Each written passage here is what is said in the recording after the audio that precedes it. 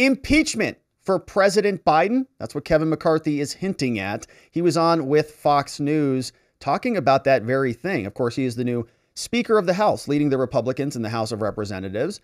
And we've gone through a couple impeachments here relatively recently. You may remember the two from the last administration, both failed. But the way they work, the House has to do the impeaching and then it goes over to the Senate. So we'll start with McCarthy before we check in with cocaine Mitch McConnell over in the Senate and Lindsey Graham and his comments about how he eats and what his diet looks like. Then we'll turn over to Adam Schiff, where he responds to impeachment because it's setting off a firestorm. These documents could be a big, big problem for the Biden administration. Kevin McCarthy discussed it with Jesse Watters on Fox News. I will never use impeachment for political purposes, but I will definitely follow the truth and the facts of wherever it takes us. And I am tired of having America wide open because you know what else you get with a wide open border? More people dying from fentanyl. Just in my home state, just up from my house, we just had a cartel style killing. Impeachment pivot to shot fentanyl. in the face based upon what's happening on this border. 300 more Americans will die today because that border is not secure. American public has trusted us with the majority and we will get to the bottom. All right, so impeachment might be a real thing. I will never use impeachment for political purposes, but I will definitely follow the truth and the facts. All right, let's refresh that. Had a little bit of an error on that one. I closed the video, but Kevin McCarthy just wanted to keep talking. And we were done with Kevin McCarthy. For some reason, he just kept on yapping. But he's out there and he's saying impeachment is something that may actually be on the table. He's not going to use it politically, but if it warrants it, and a lot of people are saying it does warrant it, especially the cover up. So let's turn our attention now over to the Senate. What does the Senate have to say about all of this? Because Cocaine Mitch is usually pretty quiet often. We often encourage him to maybe use a little bit more of that supplement so that he can talk and share with us more about the vision from the Senate, given the fact that he runs the place with the leadership of the Republican Party. Cocaine Mitch comes out and he's asked about the Biden documents. Let's see what he says. What is your level of concern about classified records showing up at Vice, uh, Joe Biden's home? And now we're learning about what happened to Mike Pence. And what specifically should Congress do to prevent this from happening again? Well, with regard to how the Justice Department handles it, I think they ought to treat everybody the same who has misplaced uh, classified documents. And uh, it seems so far as if the Attorney General is making an effort to do that. And I, beyond treating everybody the same, I don't really have any additional advice. No advice, no real opinion, wants to treat everybody the same, has a difficult time recognizing that that has not been the current pattern. We are not seeing people being treated the same in this country. We've had a lot of issues about the Justice Department and the FBI treating people differently for a long time here on this channel, whether it goes to J6 or it goes to lockdowns or it goes to any of the COVID protocols or basic, you know, Antifa, riots in the streets, whatever. There's one standard of justice that goes for one side and another for the rest. McConnell has been in charge for a long time, leading the Republicans through ups and downs. And we're looking to him for a little bit of leadership to say something. The media tries again, a second crack at the apple. Do you think that this sort of hardline negotiation tactic that House Republicans are using with regards to the debt limit is necessary in order to get the debt under control? Do I think what? Do you think the sort of hardline negotiation tactic that some House Republicans are trying to use to force negotiation by holding the debt limit in question, do you think that's needed in order to? Well, as I said earlier, I think if this isn't a good time to talk about the, the debt, I don't know when that is.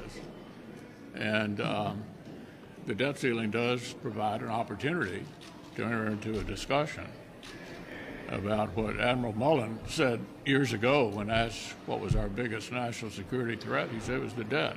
Totally. And it's only gotten worse. Yeah, Now, because of you people. during the pandemic, Didn't he sign on to that $1.7 trillion disgusting bill again? These people talk out of both sides of their mouths. It's disgusting. there was broad agreement on a bipartisan basis that we had to do what we did.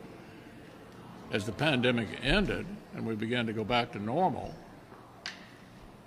not a single Republican supported either of the two reconciliation proposals last year that added about $2.7 trillion to the spending spree.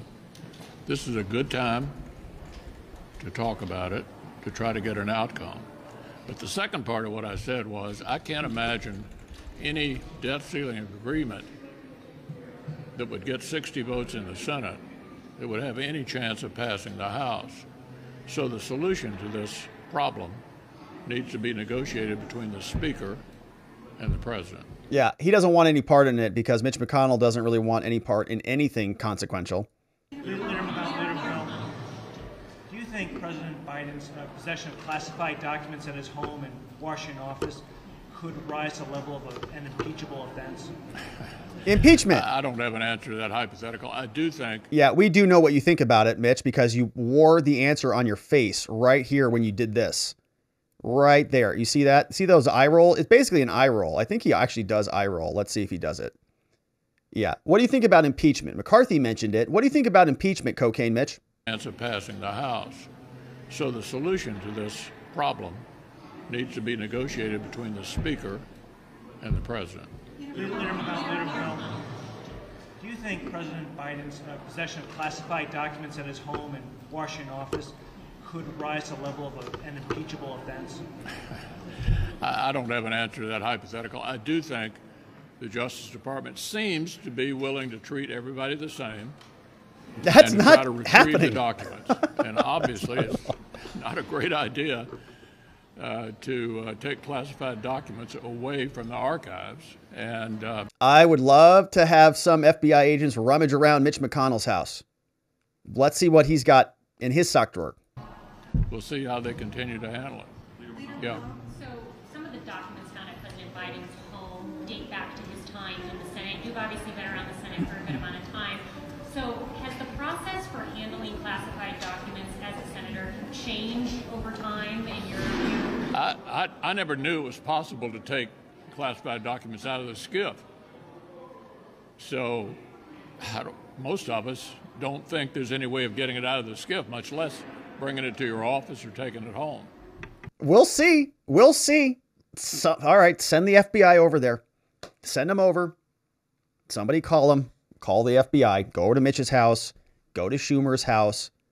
Go to Graham's house. Go to Nadler's house. How many documents does waddling Nadler have tucked away in his diaper bin? Do you, do you want Senator Sinema to run for re-election as an independent? Look, uh, Senator Sinema has been uh, an important part of the United States Senate. The most important thing she did was to save the institution itself by protecting the filibuster. She's also been a significant part of the bipartisan agreements that have been reached in the Senate. As to whether or not she chooses to run again, it's really her decision. And I think it is a big dilemma for the Senate Democratic majority to decide whether to support her or to support somebody running on the Democratic ticket. And I'm pretty sure you were asking a bunch of questions along those lines right before we came out here. I look forward to reading what answers, if any, you got. All right. He doesn't have any answers. He's going to be reading the news for uh, answers to questions. Thanks. Great job there, Mitch. All right. So that's Mitch McConnell. Now, there are also questions for Lindsey Graham because Lindsey Graham, as we know, is one of the worst senators in America, has been for a long time. And I think he's really only interested in Lindsey Graham. But he was out and he was asked questions about Biden's documents. Mr. Graham, you're a very experienced politician. You know all about confidential classified material.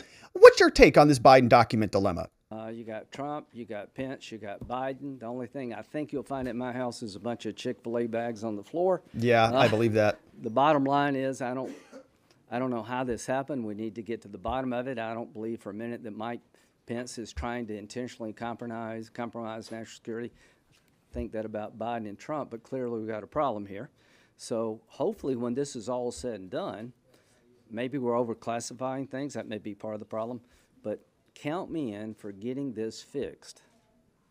And the vice president, I know very well. I'm sure he'll stand up and be the first to say, if I had classified information in my house, uh, to explain why. I think he's one of the most decent people I've ever met. And so what became a political problem, um, you know, for Republicans is now a national security problem for the country. Thanks. Uh, if you say so, we'll see about it. It wasn't a national security problem for the last six, seven, ten years. So we'll see how much of a problem it is now. But did you hear his little Chick fil A bag comment? The only thing I think you'll find at my house is a bunch of Chick fil A bags on the floor. Which is gross.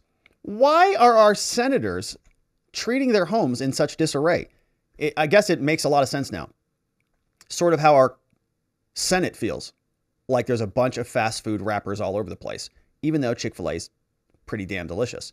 But speaking of delicious food, let's talk about our friends at Four Patriots, where you can get your own survival food and your survival gear. And there's a lot of it over there at fourpatriots.com. Let's talk about it because, my friends, a tree branch, you know, hit a power line back in Ohio 2003. It shut down. One power line, 21 power plants, 100 people died.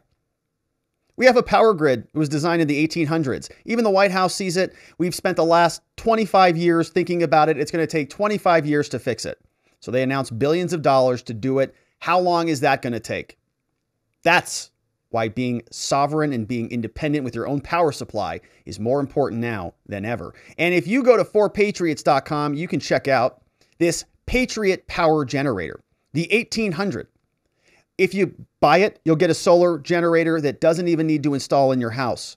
You just plug your medical devices in, your refrigerator. It's great. And right now, you can go to 4patriots.com, use code Robert, save 10% on anything in the store, including your first purchase you'll see this Patriot Power generator down there below. And if you purchase it, a portion of your sale is going to go to charities that support our veterans and their families. I'd invite you to go to 4patriots.com, use code Robert, get a power generator, get some survival food, be prepared in case you need it from our friends at 4patriots.com and use code Robert to save. All right, my friends. Now, let's wrap up with a quick conversation about our friend Pencil Neck Adam Schiff. As we talk about a possible impeachment of Joe Biden and the Biden administration, Schiff showed up on the Mika and Joe Brzezinski show, and he explained his take on impeachment and the threats of being removed from the Intelligence Committee. This is Kevin McCarthy uh, once again catering to the most right wing elements of his conference uh, and doing the will of the former president uh, as well. Uh, he doesn't like the fact that I led the impeachment of Donald Trump for withholding hundreds of millions of dollars in military aid from Ukraine while that nation was at war in order to essentially extort them into helping his political campaign. Um, that's too bad. That's a nice reframing of that whole debacle. Uh, we're going to continue to hold uh, McCarthy accountable, Trump accountable. Uh, and for him to to mess with the Intelligence Committee this way, to try to dictate uh, the Democratic representation on the committee, uh, and not just essentially tear down the functioning of that committee, but build up a new committee on this, the Select Committee on the Weaponization of the Federal Government. Uh, these should be seen as hand in hand. They are so upset that they're losing all of these weaponized select subcommittees. They got a lot of mileage out of them. And the Republicans are playing the same game. We read the letter from James Comer blasting out all over the place to many different entities. They miss that power. Tearing mm-hmm. down legitimate committees that are doing important national security work, building up these bogus committees that he's going to seat, uh, you know, the, the right wing crazies. What? Uh, and it's just a further destruction of. No, who like Liz Cheney?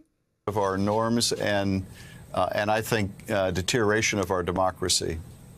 All right, so everything is going to be a deterioration of our democracy if the Democrats are not in charge. Hakeem Jeffries did appoint him or nominate him again, which means this is very likely going to turn into sort of a battle between McCarthy and Hakeem Jeffries, evidently. This came out over to Kevin McCarthy, so the letter was drafted January 21st.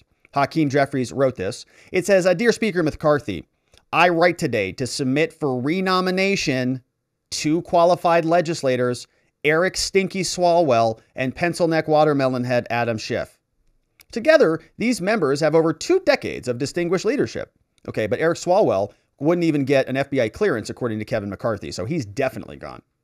And Adam Schiff has been wrong basically about every single intelligence conversation that we've had thus far. He says appointments to the Intelligence Committee are within the prerogative of the Speaker. in consultation with the Democratic leader, says it's my understanding that you intend to break with the long-standing tradition of deference to the minority party intelligence committee recommendations. Now, all this is fair game, okay? Because when the minority party made recommendations to Speaker Pelosi's committee, the J6 committee, she rejected theirs. Right? She said, "Nope, you can't have those people." Jim Jordan was supposed to be on there, she said no. So they ended up with who she picked, which was Kinzinger and Cheney. Both of them made it on there. So this is they're all going to be crying foul about this, right? Oh, Adam Schiff got thrown off, Swalwell got thrown off, all this crap. Don't buy it for a minute. They started this game. The committees were supposed to be 13 members. Turned out there was like 9 of them on there. 7 Democrats, 2 Republicans on the J6 committee ultimately. So the same thing can happen here. The Republicans should go to war on this one. Keep them all off if they can help it. Democrats started it. It's only fair. If the Republicans don't do that, they're going to lose, as they have been losing thus far. Now it's time to play since they have control. Schiff is now asked about this, said, Look, all right, you've been renominated to be on the Intelligence Committee, but many people don't think that you're all that intelligent and that you don't belong on there. What do you say about that? If Kevin McCarthy boots Schiff off the panel, is Schiff going to lie down or is he going to come fighting back? Uh, I'm very uh, proud that uh, Leader Jeffries has nominated me to serve in that top role again. Uh, I have a great deal of experience uh, serving on that committee, probably more than anyone else in the House uh, at the present. and we're at a, a fragile time um, with a lot of security concerns around the globe, including that continuing war in Ukraine. Uh, why is he doing it? Um, because Marjorie Taylor Greene wants him to do it, uh, because Donald Trump oh. wants him to do it, and because McCarthy is a weak speaker. Uh, he dealt away the powers of his office, and now he's beholden to the most extreme elements of his conference. Um, uh, Marjorie Taylor Greene was removed from her committee for encouraging violence against other members of the House. Uh, that is certainly not a precedent to be messing around with the Intelligence Committee the way McCarthy uh, uh, has been threatening. Yeah, uh, you know, if uh, McCarthy follows through on his threat, uh, and he, he, may have the ability to do that, the, the Intelligence Committee he better is a select committee. It wouldn't require a vote of the full House.